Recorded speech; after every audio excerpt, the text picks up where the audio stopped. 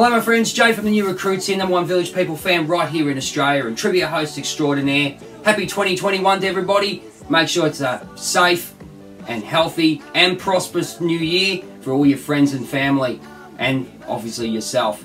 Thank you very much for supporting our trivia host series. Again, if you want to get involved, the details are at the end of this video.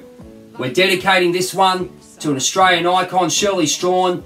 Great lead singer of Skyhooks. Remember horror movie? Balwyn Calling, living in the 70s, but also my memories was Shirl's Neighbourhood, a fantastic kids show.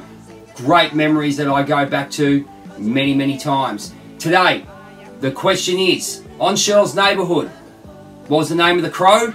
And what was the name of the kangaroo? Thank you so much for supporting. If you want to be a trivia host, contact me at New Recruits. DM me on Instagram and we can get you involved. You can be our new recruit for 2021. Thanks, Shirl, for all the memories. We look forward to seeing you soon.